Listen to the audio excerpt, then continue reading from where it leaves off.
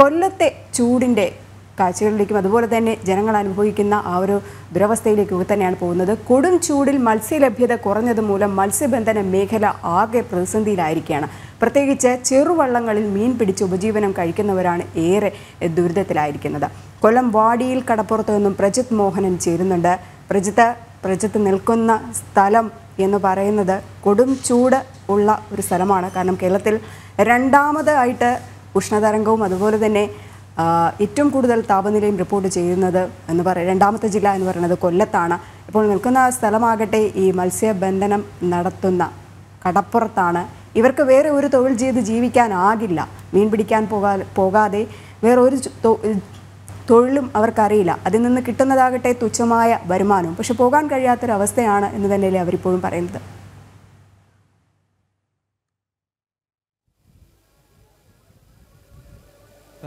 ഈ കൊടും ചൂടും കാലാവസ്ഥാ വ്യതിയാനവും ഒക്കെ എക്കാലത്തും ബാധിച്ചിട്ടുള്ള ഏറ്റവും കൂടുതൽ ബാധിക്കാതെ മത്സ്യബന്ധന തൊഴിലാളികളെ തന്നെയാണ്. പ്രത്യേകിച്ച് ഒരു ചൂട് കൂടുമ്പോൾ അല്ലെങ്കിൽ കാലാവസ്ഥയിൽ ഏതെങ്കിലും രീതിയിലുള്ളൊരു മാറ്റം വരുമ്പോൾ അത് ഏറ്റവും കൂടുതൽ ബാധിക്കുന്നത് ഈ മത്സ്യബന്ധന മേഖലയിൽ ജോലി ചെയ്യുന്നവരെയാണ് എന്ന് പറയേണ്ടി വരും. കാരണം കടലിന്റെ സ്വഭാവം മാറും ആ സ്വഭാവം മാറുന്നതോടുകൂടി മീനിന്റെ ലഭ്യതയിലുണ്ടാകുന്ന ഏറ്റക്കുറച്ചിലുകൾ വലിയ രീതിയിൽ ഇവരെ ബാധിക്കാറുണ്ട്. എന്തായാലും നമ്മൾ ഇപ്പോഴുള്ളത് ഈ വാടിയിൽ കടപ്പുറത്താണ്. ഇന്ന് ഇപ്പോൾ ഈ ഉച്ച സമയത്ത് വള്ള മീനുകളുമായി തിരിച്ചു വരുന്ന വള്ളങ്ങളെയാണ് നമ്മളിപ്പോൾ ഈ ദൃശ്യങ്ങളിൽ കണ്ടുകൊണ്ടിരിക്കുന്നത്.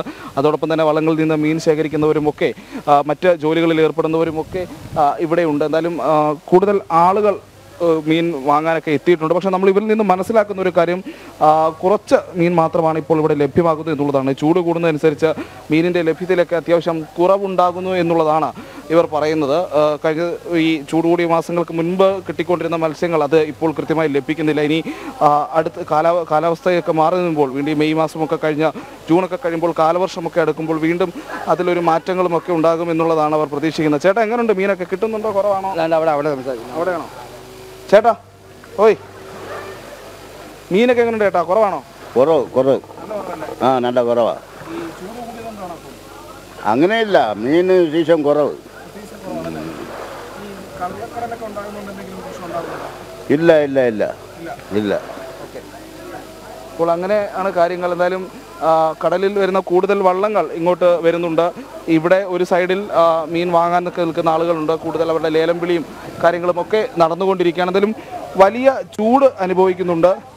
ഈ ചൂട് കാരണം മത്സ്യബന്ധന മേഖലയിൽ വലിയ പ്രതിസന്ധിയും നേരിടുന്നുണ്ട് എന്നുള്ളതാണ് പ്രത്യേകമായി പറയേണ്ടത്. അതോടൊപ്പം തന്നെയാണ് കൊല്ലത്തിന്റെ തെക്കൻ മേഖലകളിൽ ക്ഷമിക്കണം കൊല്ലത്തിന്റെ മലയോര മേഖലകളിലൊക്കെ കൊടും ചൂട് കാരണം കുടിവെള്ളത്തിന്റെയൊക്കെ ബുദ്ധിമുട്ടുകൾ നേരിടുന്ന പ്രശ്നങ്ങൾ നിലനിൽക്കുന്നുണ്ട്. അങ്ങനെ തന്നെയാണ് ഓരോ മേഖലയും ചൂട് വലിയ രീതിയിൽ ബാധിക്കുന്നുണ്ട്. ഒരിടത്ത് മത്സ്യബന്ധനത്തെ മത്സ്യങ്ങളുടെ ലഭ്യതക്കുറവാണെങ്കിൽ മറ്റു ചിലങ്ങളിൽ കുടിവെള്ളത്തിന്റെ ലഭ്യതക്കുറവ്. അങ്ങനെ വലിയ പ്രതിസന്ധിയൊക്കെ നിലനിൽക്കുന്ന സാഹചര്യവും സമയവുമാണ്. ഈ ചൂടിനെയും കൂടുകയാണെങ്കിൽ ഇതുമായി ബന്ധപ്പെട്ടുള്ള കൂടുതൽ പ്രശ്നങ്ങളൊക്കെ ഉണ്ടാകുമെന്നുള്ളത് തന്നെയാണ് ഇവർ പറയുന്നത്. പ്രത്യേകിച്ച് കുടിവെള്ള ലഭ്യതയുടെ കാര്യത്തിലൊക്കെ കിഴക്കൻ മേഖലയിൽ കൊല്ലം ജില്ലയിൽ വലിയ പ്രതിസന്ധി നേരിടുന്നുണ്ട്. തെന്മല പോലെയുള്ള മേഖലകളിലൊക്കെ ആദിവാസി മേഖലകളിലൊക്കെ ആ രീതിയിലുള്ള വലിയ പ്രതിസന്ധി നിൽക്കുന്നുണ്ട് അതോടൊപ്പം തന്നെയാണ് മത്സ്യബന്ധന മേഖലയിൽ മീനിന്റെ ലഭ്യതയുമായി ബന്ധപ്പെട്ടുള്ള പ്രശ്നങ്ങളും നിലനിൽക്കുന്നത്. അതോടൊപ്പം തന്നെ ഈ ചൂടത്ത് കടലിൽ മീൻ പിടിക്കാൻ പോകുന്നതുമായി ബന്ധപ്പെട്ടുള്ള പ്രശ്നങ്ങളും നിലനിൽക്കുന്നുണ്ട്. ഈ പക കടൽ അല്ലെങ്കിൽ തീരത്തുള്ളവർക്ക് ഒരു തണലത്തേക്കൊക്കെ കയറി നിൽക്കാനൊക്കെ കഴിയും. പ്രത്യേകിച്ച് ചെറുവള്ളങ്ങളിലൊക്കെ പോകുന്നവർക്ക് പ്രത്യേകിച്ചൊരു തണലും മറയും ഒന്നും ഉണ്ടാകാനുള്ള ഒരു സാഹചര്യവുമില്ല.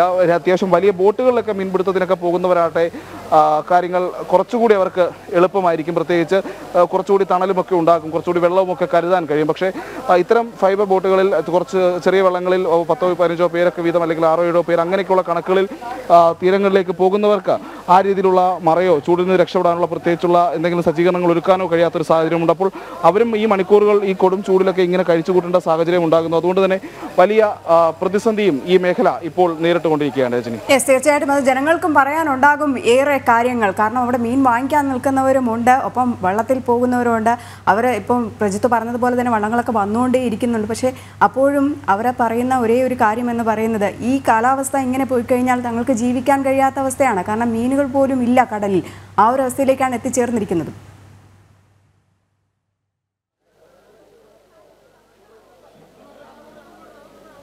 ചേട്ടാ എങ്ങനെയുണ്ട് ഓരോ ആൾക്കാരും ചിലർ പ്രതികരിക്കാനൊന്നും തയ്യാറാകുന്നില്ല രജനി. എന്തായാലും ആളുകൾ ഒരുപാടുണ്ട്. മീൻ വാങ്ങിക്കാൻ വന്നവരുണ്ട്. അതുമായി ബന്ധപ്പെട്ടുള്ള മീനിന്റെ കുറവുണ്ട്. പക്ഷേ ആളുകളൊക്കെ അവിടെ ലേലം വിളിക്കുന്ന തിരക്കുകളിലും മറ്റുമാണ്. ചേട്ടാ എങ്ങനെയുണ്ട് മീനൊക്കെ ഉണ്ടോ?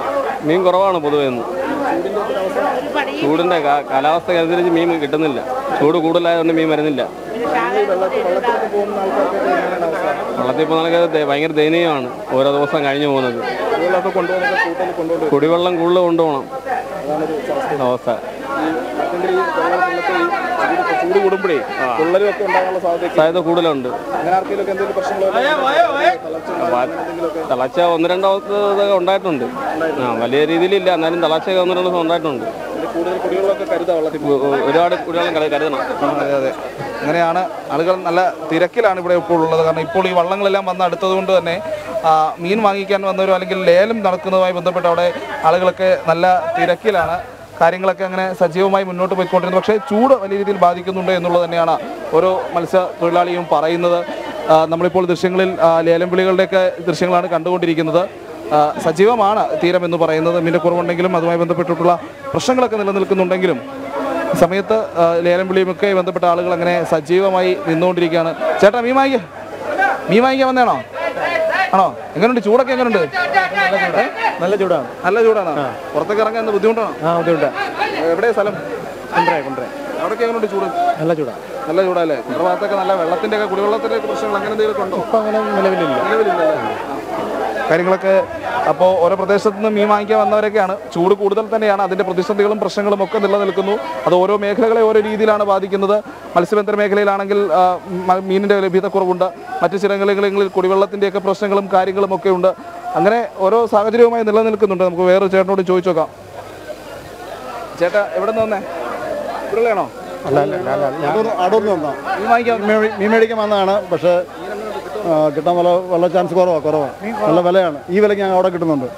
ചൂട് കൂടുന്നുണ്ട്? ആ, ചൂട് ചൂട്. ഇവിടെയാണ് ചൂടുണ്ട്. പക്ഷെ കടലിൽ സൈഡ് താഴത്തതിനെയും അല്ല കാറ്റിന് നല്ല ചൂടാണ് ഉണ്ട് നല്ല ചൂടുണ്ട്. ഇപ്പോൾ ഇടയ്ക്കുണ്ട് മഴ പെയ്തപ്പോഴത്തേക്ക് കുറവ് അല്പം കുറവുണ്ട്. പക്ഷെ ചൂടുണ്ട് നല്ല ചൂടുണ്ട്. കുറച്ച് ദൂരെയാണ്. പത്തനംതിട്ട അടൂരിൽ നിന്ന് മീൻ വാങ്ങിക്കാൻ വന്നവരാണ്. അവരും പറയുന്നത് ഇവിടെ ഇപ്പോൾ മീനിന്റെ കുറച്ച് ലഭ്യതക്കുറവ് ഉണ്ടാക്കുന്നത് കൊണ്ടുള്ള ചില പ്രശ്നങ്ങൾ നിലനിൽക്കുന്നുണ്ട്. അതുതന്നെയാണ് എല്ലാവർക്കും പറയാനുള്ളത്. മീനിന്റെ ലഭ്യത കുറഞ്ഞത് മൂലമുള്ള പ്രതിസന്ധികളുണ്ട്. ചില ചൂടും അതുമായി ബന്ധപ്പെട്ട പ്രശ്നങ്ങളും ഒക്കെ അങ്ങനെ നിലനിൽക്കുകയാണ് രജനി. യെസ് തീർച്ചയായിട്ടും. ഈ കൊടുഞ്ചൂട് എല്ലാ മേഖലയും ബാധിച്ചിരിക്കുകയാണ്. സാരമായി ബാധിച്ചത് മത്സ്യബന്ധന മേഖലകൾ തന്നെയാണ്. കാരണം കൊടും ചൂടിൽ മത്സ്യലഭ്യത കുറഞ്ഞത് മൂലം മത്സ്യബന്ധന മേഖലയിൽ അനുഭവപ്പെടുന്ന പ്രതിസന്ധികൾ എന്ന് പറയുന്നത് അവർക്ക് ഈ വെയിലത്ത് പോകാൻ കഴിയുന്നില്ല. ലിറ്റർ കണക്കിന് വെള്ളവും ഒക്കെ കൊണ്ടാണ് കടലിലേക്ക് മീൻ പിടിക്കാൻ പോയത്. അവിടേക്ക് പോയി കഴിഞ്ഞാൽ ഈ കാലാവസ്ഥാ വ്യതിയാനം കാരണം മീനുകളും കുറവാണ് കിട്ടുന്നത് എന്ന് തന്നെയാണ് അവർ ഓരോരുത്തരും പറയുന്നത്. ഈ ചെറുവള്ളങ്ങളിൽ മീൻ പിടിച്ച് ഉപജീവനം കഴിക്കുന്നവരാണ് ഏറെ ദുരിതത്തിലാകുന്നത്. ആ ദൃശ്യങ്ങളടക്കമാണ് നമ്മൾ കണ്ടത്. കൊല്ലം വാടിയിൽ കടപ്പുറത്ത് നിന്ന് പ്രജിത് മോഹനാണ് ഈ മത്സ്യബന്ധന തൊഴിലാളികളുടെ ദുരിതമടക്കമുള്ള വിഷയങ്ങൾ ഈ കൊടും ചൂടിൽ അവർ അനുഭവിക്കുന്ന കാര്യങ്ങളൊക്കെ തന്നെ നമ്മളോട് പങ്കുവച്ചത്.